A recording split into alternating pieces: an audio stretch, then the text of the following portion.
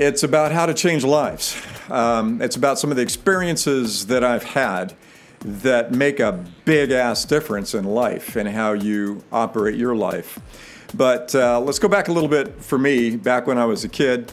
Um, in my early childhood, I was a chronic stutterer. It started apparently when I was five or six or something, some event in my life caused me to be very scared and stutter. Um, I literally stuttered like a Mel Tillis. You probably, most of you don't know who that is. Anyway, it was a, a chronic stutter. Like every word I would stammer, you know, and, and have a difficulty speaking. Uh, my parents thought it was a physical thing, probably because it would avoid them thinking about anything that happened that maybe caused that to a little child. So, um, in any case, um, I was a chronic stutterer till I was about 10. And then I got in an argument at school, in grade school, of course. Um, and I discovered that when I cussed, when I had an outburst, I could rattle off a bunch of stuff without stuttering.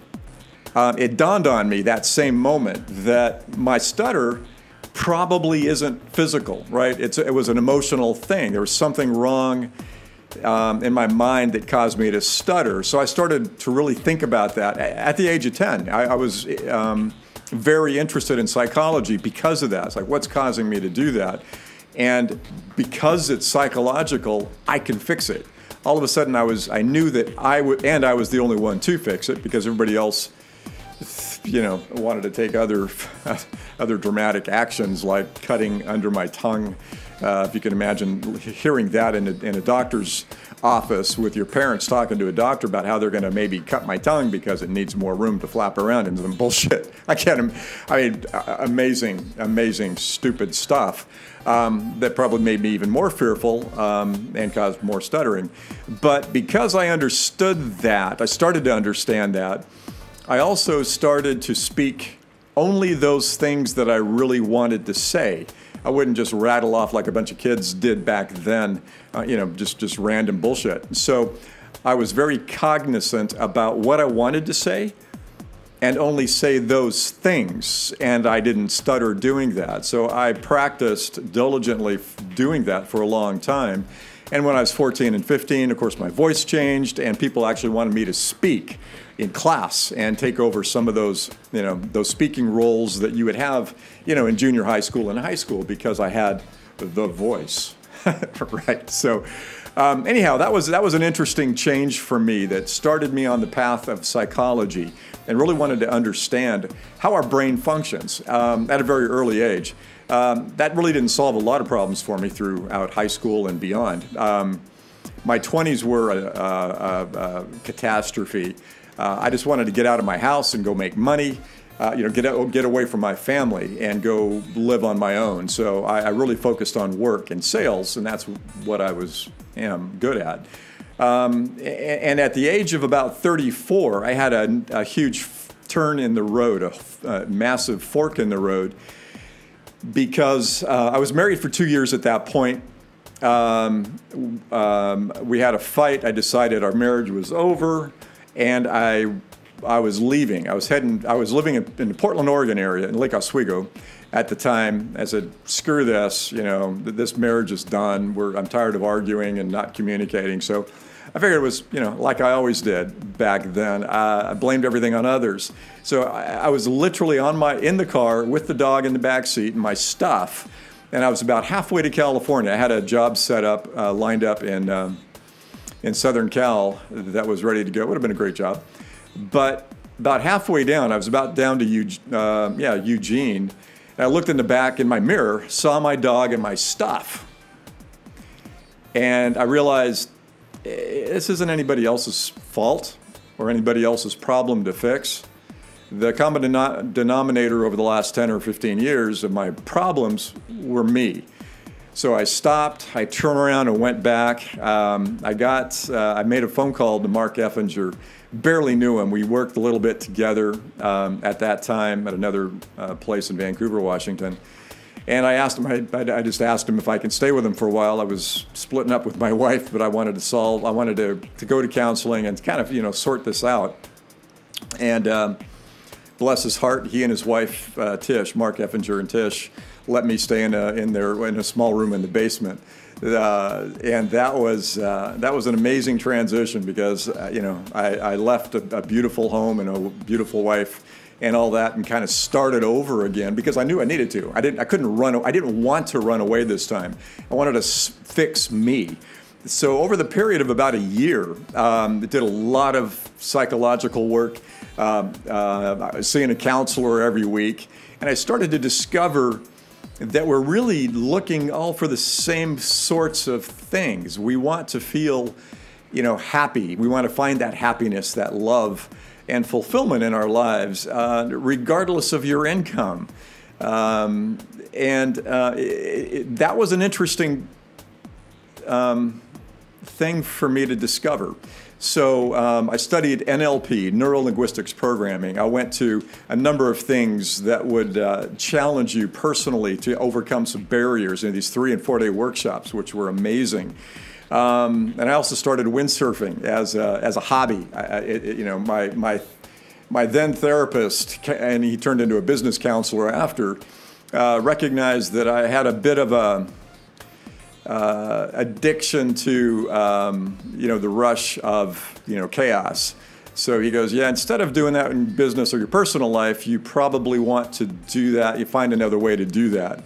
So uh, anyway, I started windsurfing, and that was amazing. But Mark and his wife um, were so sweet and let me just kind of fumble through life for uh, for a few months, and then I really started to understand psychology and that we can change what's in here. I can change the map. I could change the pictures that I had for my life and start living those dreams rather than the chaos and, and the regrets of the past. So um, that was an amazing thing. My life just expanded incredibly. Um, I had this incredible life that we'll uh, share with you, but it, you know, my, my life grew dramatically over the next uh, 20 years. In fact, my, my, my then, she was still my wife, but we were separated. She saw the transition in me after about a year. She said, I want you to come home. Um, that was my first mistake.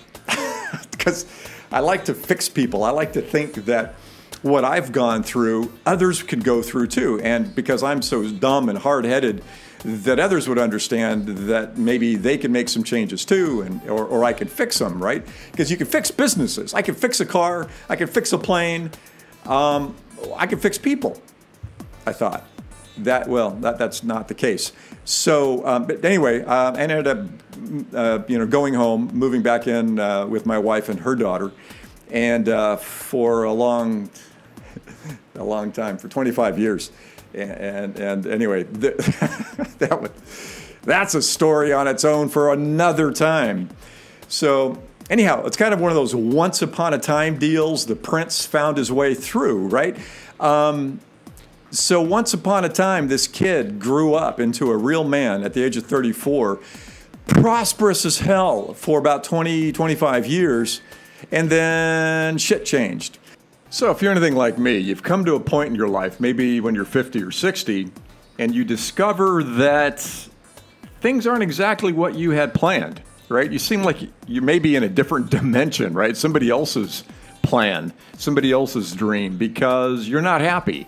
You know, all the success that I've had in building businesses, owning yachts, you know, expensive vehicles. I've lived in some fantastic homes in Sedona, Arizona, Carlsbad, California, in Florida and uh, all over. You know, lots of travel, and we were even on the uh, Oprah Winfrey show uh, to support Robert Kiyosaki when he first came out with his first book, Rich Dad Poor Dad, because he found out that we were using his book and um, you know buying a lot of real estate in Phoenix, and he lived in and still does, I think, live in Phoenix. Sure, I built businesses.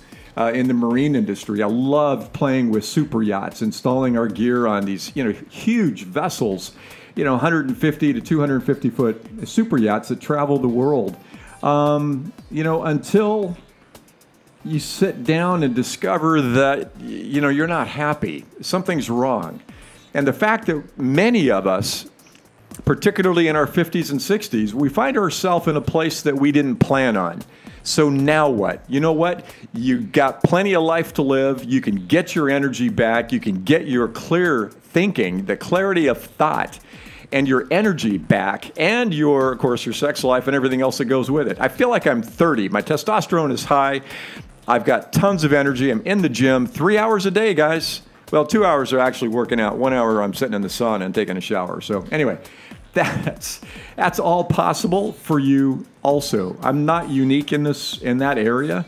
Um, you can do it too, but you just have to make a decision today that you actually want to do something different. You want to experience a different kind of life. Become the man that you've always wanted to be. And you, you know what? You might surprise your wife um, with the fact that you can actually do that. So let's uh, join us on this journey. Vital60.com, Perry Anderson. We've got some amazing stories for you and some amazing methods that you can employ and put into work in your own life.